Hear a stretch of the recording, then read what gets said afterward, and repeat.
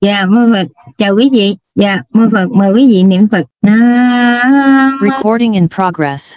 mô sơn ca mâu ni phật nam mô bổn sư thích ca mâu ni phật nam mô bổn sư thích phật dạ a di đà phật dạ chào quý vị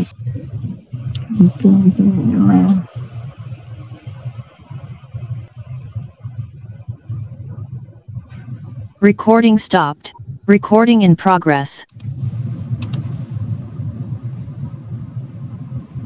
Dạ, hôm trước thì à, có ờ, có cho quý vị mô Phật hôm trước giờ có cho quý vị mấy câu hỏi đó. Thì à, để xem coi trong bài này kinh kim cang uhm, chắc bây giờ là quý vị cứ lo cái vấn đề thi cử của mình. Đi trong kim cang để kéo cái bài này xuống thì quý vị thấy là có câu hỏi có mấy câu hỏi có nghĩa là sau mỗi một bài mà trình bày cho quý vị xong thì chờ có cho quý vị những cái câu hỏi để quý vị à, về ôn. Nhưng mà có lẽ là nhiều khi là à, quý vị lại không để ý à, cho nên là cứ quan mang là cứ sợ là những cái câu hỏi thi thì như thế nào.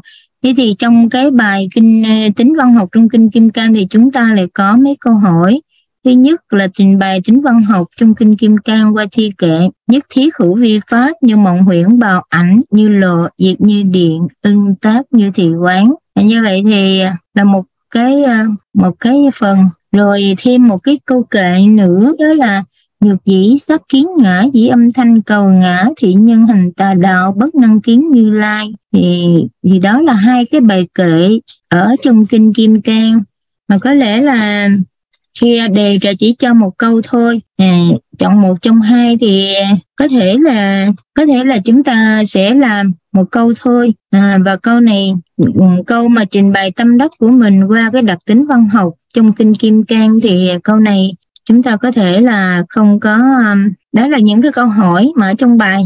Chúng ta quý vị thấy là có cho hết á chúng ta để ý ha có cho hết những câu hỏi. Rồi à, trong cái kinh uh, trong kinh khác trong kinh thắng mang thì cho cũng có gợi ý cho quý vị câu hỏi ở cuối bài. Cuối bài trong kinh thắng mang thì có gợi ý cho quý vị cái câu gì? À, hãy à, yeah.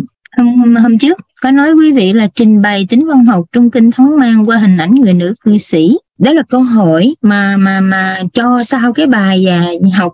Thế thì cái bài học này à, bài học của cái kinh thắng mang này rồi à, kinh à, kinh di ma thì à, cũng có cho quý vị là trình bày tính văn học trong kinh di ma cập qua hình ảnh người cư sĩ người cư sĩ uh, ở di ma. Thế thì ở đây chúng ta sẽ có nãy giờ là nói rồi chúng ta có ba câu hỏi rồi đâu quý vị. Thế thì hôm trước có dặn quý vị rằng uh, cho quý vị tự chọn nhưng mà có lẽ là khi bài thi ra thì um, hôm nay dự định là um, hướng dẫn thêm cho quý vị cái kinh Quan Miên. Nhưng mà suy nghĩ rằng uh, thôi thì ờ, chốt lại, để cho chúng ta chúng ta dễ nắm bắt mà chúng ta làm bài và học bài. Để thế thì ờ, cũng biết là quý vị học cái lớp của mình đó thì đa phần người lớn tuổi ờ, cho nên học cũng chậm. Rồi bài vở mình soạn thì cũng không phải là chỉ một bài, nhiều môn, cho nên là quý vị cũng vất vả. Nhưng mà nếu mà học mà không vất vả thì mình đâu có cái kỷ niệm gì đâu ha không có cái à, cái à, cái à, ừ, cái, cái sâu sắc. À, cho nên cũng phải vất vả một chút xíu. Nên quý vị có cố gắng chịu khó soạn cho mình trước cái bài. Thế thì um, phần thi chắc có lẽ sẽ cho quý vị ba câu hỏi. À, và trong đó thì um, có một câu hỏi bắt buộc có câu hỏi bắt buộc. Thì uh, còn một câu để quý vị tự chọn là câu đó thì có thể là quý vị sẽ chọn là kinh thắng mang hay là quý vị chọn kinh di ma. Thì ừ, chúng ta có thể là tự chọn trong hai cái đó. Nhưng mà cái câu bắt buộc là cái câu mà ừ, là là cho sẽ chọn cho quý vị chứ quý vị không có tự chọn được. Cho nên là sẽ có một câu bắt buộc mà câu đó là cái điểm nó sẽ cao hơn. À, ví dụ như câu đó là ba chục điểm câu bắt buộc còn hai, còn lại cái câu mà quý vị tự chọn thì như nói trước rồi đó, có nghĩa là không có cho quý vị câu hỏi ôn thuộc cụ thể, nhưng mà câu hỏi chính là cái câu mà sau cuối bài đó quý vị có câu đi ôn đó, thì quý vị chọn cho mình hoặc là của nữ cư sĩ hoặc là nam cư sĩ. Đó thì tự mình chọn, mình thích chọn nam cư sĩ thì mình chọn cái kinh Di Ma Cực. Mình thích chọn cái hình ảnh người nữ cư sĩ thì mình chọn cái kinh Thắng Ma thì như vậy để chúng ta dễ dễ làm bài. Còn cái phần mà bắt buộc thì có lẽ là cho sẽ chọn cái kinh kinh kim cang để mà bắt buộc cho quý vị. Thì kinh kim cang cũng có hai câu hỏi đó. Quý vị quý vị tự đoán đi ha. Quý vị tự đoán xem là câu nào. Nhưng mà câu cái cái cái phần kinh kim cang bắt buộc đó là, là hai giữa hai câu đó thì cho sẽ chọn một câu để cho quý vị. Mà thư rằng câu đó là tới ba chục điểm lận cho nên quý vị cố gắng cố gắng mình à, mình chuẩn bị cho mình trước cái câu đó. Như vậy thì khi thi ấy, thì à, ít nhất ra quý vị tự chọn cho mình thì quý vị cũng có được phần 20 điểm rồi đó. Có nghĩa là quý vị chuẩn bị cái bài thì quý vị có được 20 điểm. Thế thì còn lại cái điểm mà cũng sau bắt buộc quý vị cố gắng làm được bao nhiêu thì làm. Để ít nhất ra mình cũng có được cái cái cái, cái câu câu ruột của mình rồi. Thì như vậy chúng ta cũng có cái số điểm là trên trung bình. Để chúng ta đủ điểm đi ra trường thì, thì trò nghĩ như vậy đó quý vị có thắc mắc gì không hay là có muốn muốn gợi ý cái gì nữa không Mô Phật Bạch Sư ạ. À. Yeah. Sư cho con hỏi là trong cái kinh Kim Cang dưới cuối bài là là sư có cho hai câu hỏi. Yeah. Và câu thứ nhất là trình bày tính văn học qua một trong hai thi kệ. Yeah. Và câu thứ hai là trình bày tâm đắc của mình qua những đặc tính văn học trong kinh Kim Cang. Thưa đúng yeah. không ạ? À? Yeah, đúng dạ. Dạ mô Phật con cảm ơn sư. Và câu đó chính là cái là cái câu kinh Kim Cang là thuộc về phần bắt buộc đó. Phần mà cái câu hỏi bắt buộc. Cho nên là quý vị tự đoán xem là trong hai câu đó cô giáo sẽ cho ra câu gì nha. Đó là câu bắt buộc còn câu tự chọn thì quý vị tự chọn ha. Dạ còn vị nào thắc mắc gì nữa không ạ? À? sư cái câu một mà nhất thiết hữu vi với lại tất cả pháp hữu vi chọn một cái thi kể đi sư. Ờ, không phải cái nhất thiết hữu vi pháp mà tất cả pháp hữu vi đó là là cái dịch ra. Dạ dạ. À, nếu mà để cho rõ thì khi mà cho thi thì sư cô sẽ không có không à, có ghi không cần dịch nhật, nhật chỉ sắc kiến nhã. Yeah, dạ, đúng rồi. Có nghĩa là cho hai câu thi kệ. Nhưng mà khi ra thi chỉ cho một câu thôi ví dụ vậy. Chứ không có cho hết hai câu để quý vị cũng không có chọn được đâu. Sư bỏ bớt một cái thi kệ đi sư. Bỏ cái đúng rồi. ra thi thì sẽ bỏ đó chứ bây giờ chưa bỏ được vậy thành ba câu rồi sư. Cái câu một thành thành hai hai hai hai bài thi kệ rồi. Với một câu trình bày ờ, tâm đắc là ba rồi. Rồi hai câu dưới nữa là bốn. Không phải. Ví dụ như giữa hai câu thi kệ sư cơ sẽ chọn một câu thôi để cho quý vị làm. Chứ không phải chọn hai câu đâu. Vậy cái nhược chỉ kiếm sắc đó mình bỏ không không hiểu cô có nghĩa là ở trên là phần âm ở dưới là phần dịch nghĩa. Cái âm cái nghĩa nó chỉ là một câu thôi. Đâu có. Đâu hai bài thi kệ lận mà nhất thiết hữu vi pháp rồi dưới là nhược dị kiến sắc uh, kiến ngã. Dạ, là lấy lấy sắc uh, lấy sắc uh, thấy ta lấy âm thanh cầu ta đó. Yeah. Dạ. cái câu một đó nó có hai bài thi kệ lận. Thì, thì bây giờ mình tóm lại lấy một thi kệ thôi. Thì lấy có một thi kệ đi cho ra thi thôi chứ không có lấy hai. Vậy thì sư bỏ cái câu hai câu nhược dĩ kiến sắc ngã sư đâu có nói được chứ cái đó là quyền của giáo đó họ cái đó là đúng rồi đó là đề thi mà đâu có nói được chứ. Nhưng mà nói là kinh à, kim cang là kinh mà để à, câu hỏi bắt buộc. Ý ý cái con nói là câu một nó nó hai thi kệ mà giống như là mình làm hai bài luận luôn rồi. Rồi xuống dưới câu tháng mang là là mà là ba rồi câu à, câu y ma cực nữa là bốn. Cái câu một nó có hai thi kệ thành thành giống như là hai bài luận á. Một cái thôi chuẩn bị một cái thôi một câu thi kệ thôi.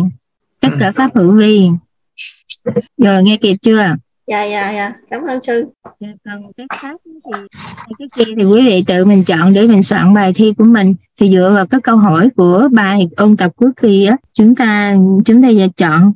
Khi làm á thì thí dụ như chọn kinh thống mang thì chúng ta cũng uh, uh, chú ý những cái nào mà mình mình chẳng hạn như mình uh, trong tự kinh thống mang thì có nhiều cái uh, cái tính văn học. Đó có thể chúng ta sẽ chọn một cái phần nào mà chúng ta tâm đắc nhất cũng được. Đó, chúng ta chọn một phần tâm đắc nhất để chúng ta trình bày nghĩa làm sao là trình bày cho nó rõ. Và, hoặc là nếu quý vị chọn kinh Di Ma thì cũng vậy. Ít nhất là đầu tiên quý vị cũng phải nói là kinh Di Ma này hiện giờ đang dịch ra bao nhiêu quyển. Đó, cái phần đó thì trong bài đưa lên rồi đó, quý vị có thể đọc lại, rồi quý vị xem. Rồi có thể nghiên cứu ở từ các kinh điển khác. Ờ, để chọn cho mình cái cái phần nào di ma thì mình làm việc di ma còn hả tháng men thì mình làm tháng men. Rồi quý soạn một bài làm thế nào để mà mình viết cho đủ. Có nghĩa là mình phải chia cái thời gian ra. Thời gian 90 phút đó quý vị làm sao để viết cái bài của um, bài mà câu hỏi bắt buộc. Rồi cái bài mà mình tự chọn quý vị canh cái thời gian để mà mình mình viết cho nó đủ. Tuy nhiên là dặn trước là quý vị đừng bỏ câu nào hết. Có nghĩa là mình cũng phải làm. Trong đề thi cho hai câu thí dụ vậy một câu bắt buộc và một câu tự chọn thì quý vị cũng phải cố gắng làm. Ừ. nếu mà mình không có uh, chuẩn bị được thì mình nhớ lại hồi mình đi học ở trên uh, trên zoom này mình nhớ cái gì mình học được cái gì thì quý vị cố gắng dùng tất cả những cái mà cái cái kiến thức Phật học của mình để mình mình mình làm bài. Thì lớp của mình thì đa phần là lớn tuổi tuy nhiên là quý vị toàn là những người có trình độ sẵn bên ngoài. Cho nên với vấn đề học Phật thì quý vị nhạy bén kinh nghiệm cũng sâu sắc phong phú hơn những vị mà còn trẻ. Cho nên đó là cái lợi thế của quý vị. Nhất là thí dụ như nam cư sĩ thì chúng ta có thể chọn cái ờ, ngày duy ma để chúng ta nói chúng ta phát huy cái khả năng của một vị nữa nam cư sĩ. À, như thế nào trong cuộc sống đời thường? À, và như vậy thì cho nên sẽ có cái liên hệ đến bản thân nữa. Quý vị làm thì nhớ là như vậy. Nếu có phần liên hệ bản thân hay là từ đó mình rút ra được cái bài học nào kinh nghiệm gì trong cái cuộc sống tu học Phật pháp của mình? Với một cái hình thức cư sĩ chúng ta học Phật rồi chúng ta phải có cái thái độ gì đối với xã hội đối với à, với vấn đề tu học? Thì cái đó là cái mà liên hệ đến bản thân, quý vị cũng phải nên nói. Cho nên cái phần tự chọn đó là cái phần mà quý vị có thêm vào cái phần mà liên hệ bản thân mình. Ừ, nữ cư sĩ cũng vậy. Tại vì cái đặc biệt của bà thắng mang phu nhân là cái đặc biệt là mặc dù là lần, đây là trong cái kinh kề ừ, kể lại cho chúng ta nghe câu chuyện là bà là lần đầu tiên gặp Phật. Nhưng mà qua cái cái sự thọ kiếp của Đức Phật để cho chúng ta thấy được rằng bà là người đã nhiều đời nhiều kiếp, cũng từng gặp Phật, học Phật, học pháp và cúng dường uh, Phật rồi gieo duyên làm tất cả cái thiện lành. Thì điều đó là cái điều mà mà mà cho chúng ta thấy rằng không phải là là, là, là, là trên mặt hình thức là đây là lần đầu tiên gặp Phật nhưng mà đây để biểu hiện cái là nhiều đời nhiều kiếp bà đó đã từng gặp Phật học Phật rồi. Đó cho nên chúng ta nói như vậy. Và cái nữa là chúng ta liên hệ đến một cái vấn đề là đối với nam nam thì coi như là nam cư sĩ thì cái hình ảnh của người ngày du mai là gì? Tự tại ung dung và coi như là rất là rất là là là là, là, là phóng khoáng rất là tự tại rất là ung dung. Ngược lại cái hình ảnh người phụ nữ như ờ, thắng mang phu nhân là biểu hiện của một người phụ nữ rất là thuần tính phụ nữ khiêm cung rồi ờ, yêu thương mọi người vân vân. Thì cái cái cái đặc biệt cái đặc tính của nam tính và nữ tính rất rõ trong hai con người này. Và qua cái cái cái cái thời kinh thì chúng ta đã thấy được những gì của hai vị này và mình diễn tiến mình mình mình ờ, mình trình bày. À, cuối cùng thì phải nói về cái cái liên, liên hệ bản thân mình cái cái thấy cái nghe cái biết của mình khi mà mình học Phật như thế nào qua gương của hai vị cư sĩ này. Thì đó là cái mà cái yêu cầu của bài bài làm cho quý vị.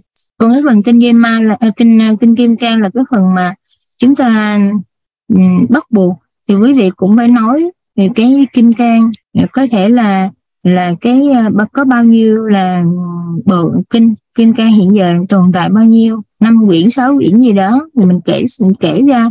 Chỉ cần kể là tên kinh rồi là tác giả, người dịch là ai thôi. Thì sau đó quý vị nói về cái nội dung chính của kinh kim cang. Để quý vị đi vào đi vào sâu vào trong cái phân tích thơ. Thì như vậy đó, mình mình hiểu cái gì qua cái câu thơ đó. Mà trình bày như đức Phật dạy như vậy thì chúng ta hiểu được cái gì? Thì chúng ta trình bày theo cái cái cái tâm đắc của mình cái hiểu của mình về cái cái cái như câu thơ trong kinh kim cang. Dạ yeah, như vậy quý vị có thắc mắc gì không ạ?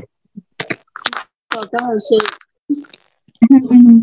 thì bây giờ nếu mà mình à, trình bày thêm cái kinh nữa thì quý vị lại rối quý vị lại không có à, hoang mang và cái cái cái học của quý vị thì nói chung là là nghiên cứu là nhiều rồi ừ, nếu mà trường trường học kinh quan nghiêm mà không trình bày được cho quý vị hôm nay cũng là cái điều rất là đáng tiếc.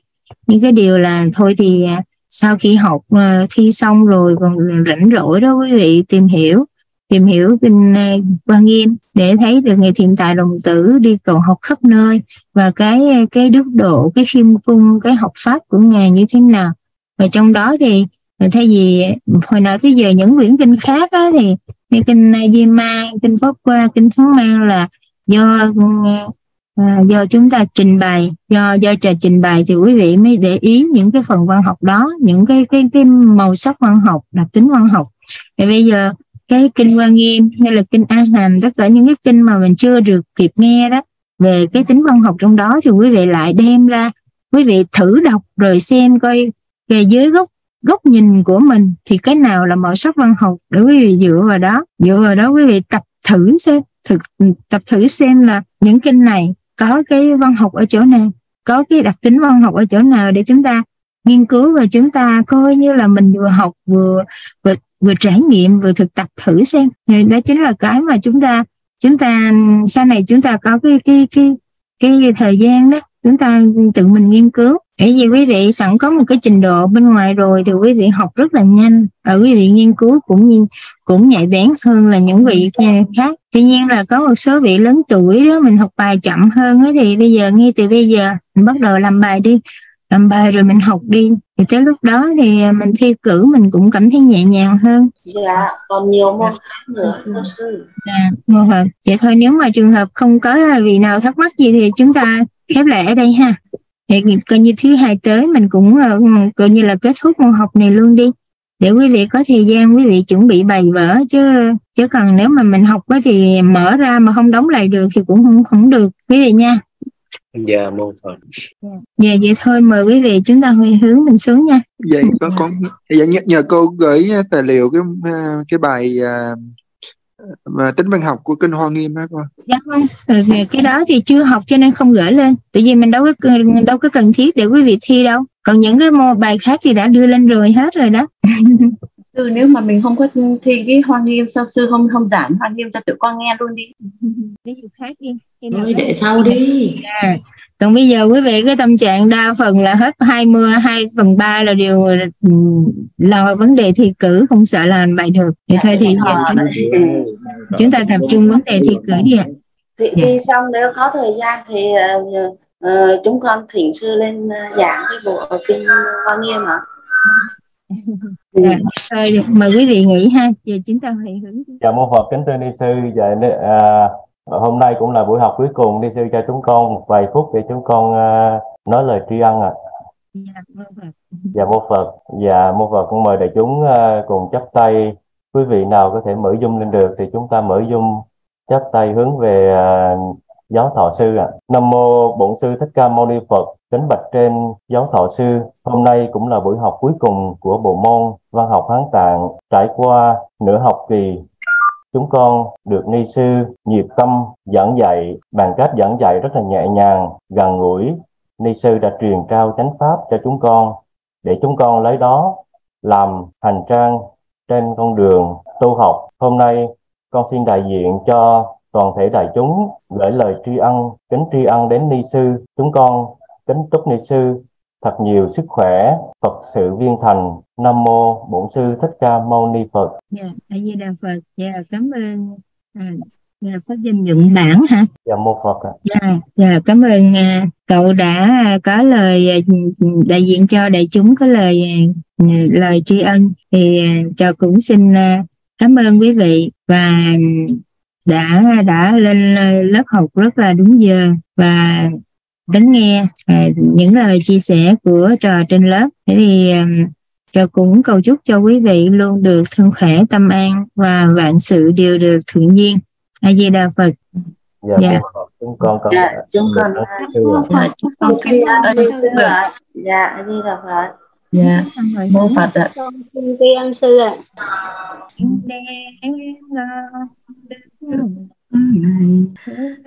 về khám đắc để tớ và cho chúng sanh đều trở thành Phật đạo. Di Đà Phật. Chúc quý vị một buổi tối ăn lành, ngủ ngon nha. Mơ Phật. Dạ, sư. Chào sư. Dạ, con kính chúc sư ngủ ngon.